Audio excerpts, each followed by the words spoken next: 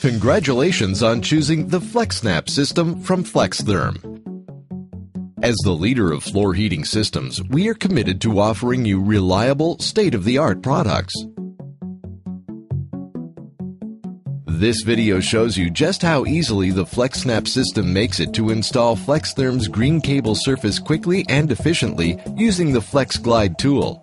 In just a few installations, you will have mastered this system.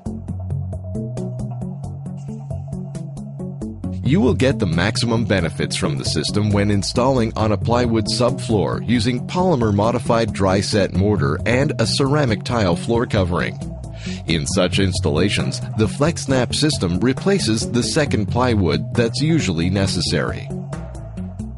Check out our website at www.flextherm.com for all the details about the compatibility of dry set mortars, various types of subfloors, and floor coverings. Before you begin the installation, carefully read the system installation guide and make sure that you install our product according to your local construction standards. The FlexSnap mesh can be installed in just a few steps. First, you will need to calculate the surface area that will be covered to know the quantity of material required. The entire floor has to be covered by the mesh, including areas underneath fixed furniture that will not be heated. To calculate the total surface area, multiply the length of the room by its width. If the room has sharp edges or angles, make sure that you subtract the appropriate amount of space from the total area. Now, prepare the floor surface. It is essential that you work on a smooth, even, and clean surface. Protruding objects such as nail or screw heads, for example, can damage the mesh or the heating cable and may even reduce the adhesive capacity of the dry set mortar. First, sweep the floor to remove any large debris. Next, make sure all nail and screw heads are fully even with the surface. Vacuum the floor. And finally, carefully clean the floor surface with a wet sponge. Residual dust could harm the adhesive capacity of the dry set mortar. First, use a marker to outline the location of all fixed furniture in order to mark the areas where the heating cable will not be installed. Next, we must trace the line that will be used to guide the installation of the first row of mesh. Using a chalk line, draw straight lines. Then plot a line that is parallel to the longest wall of the room draw it 31 centimeters or 12 and a quarter inches from the wall. You do not have to draw other lines. The mesh will guide you through the rest of the installation of the floor covering. Now it's time to install the mesh. First, look at the pieces. Notice the three squares with diamonds in them. They will help you position all the meshes so that they are facing in the same direction. Two sides of the mesh have spigot ends, and the other sides have socket ends. Install the first FlexSnap mesh by placing the two sides with the spigot ends against the walls in the corner of the room. Lay the first row of mesh along the wall, following the line that you drew earlier. Next, lay the second row on the other side of the plotted line. Join the pieces together by inserting the spigot ends into the socket ends of the adjacent piece. Apply enough pressure so that the pieces fit into each other completely. If necessary, you can easily cut the pieces using scissors or a utility knife. Once the second row is in place, screw the meshes close to each corner along the line, making sure that they are perfectly lined up with it.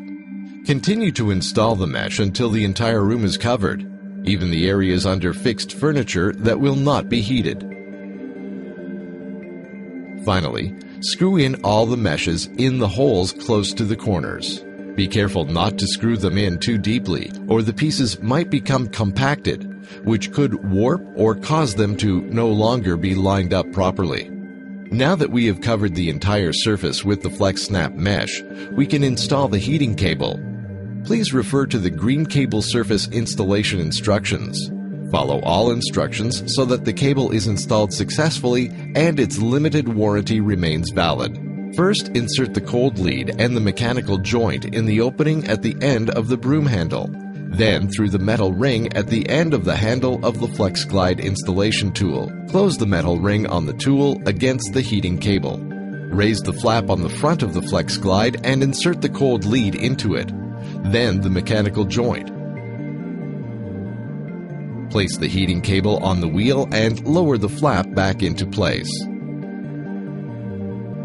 Screw the broom handle into the handle of the FlexGlide tool.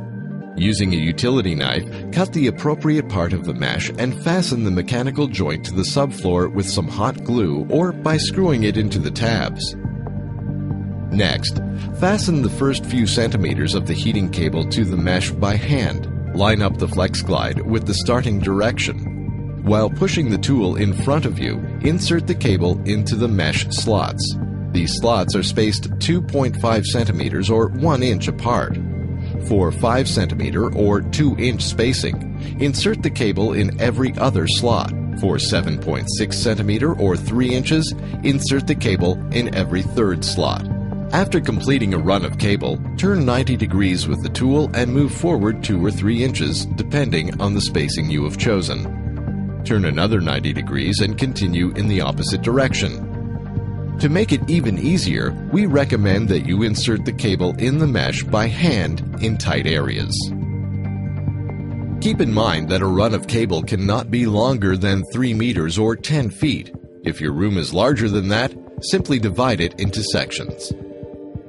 Please be sure to keep even spacing, even when you are going around fixed furniture or other obstacles.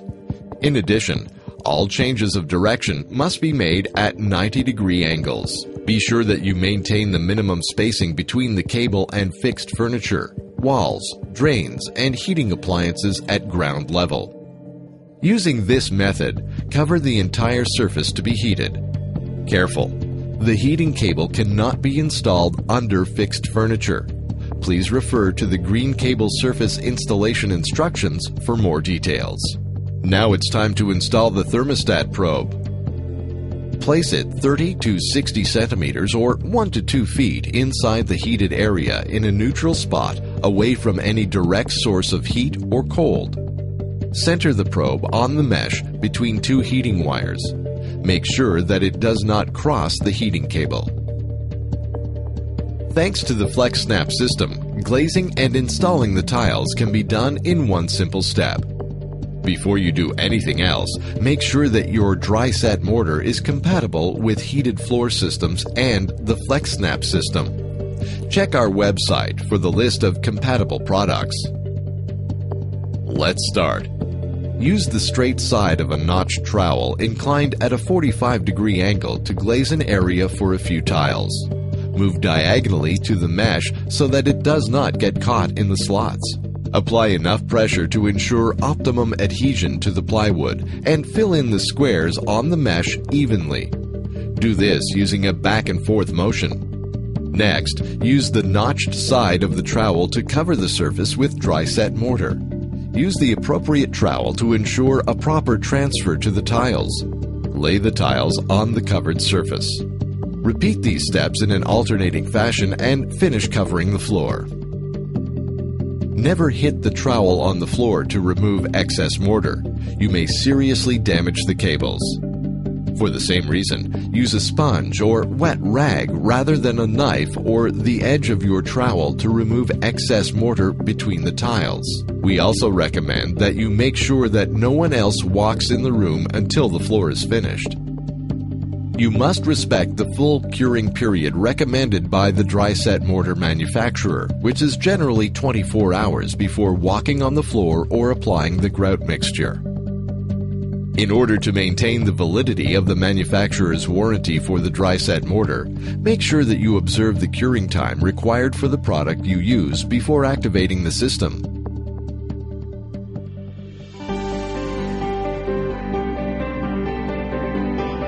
You are now ready to enjoy the soft, enveloping warmth provided by the FlexTherm system.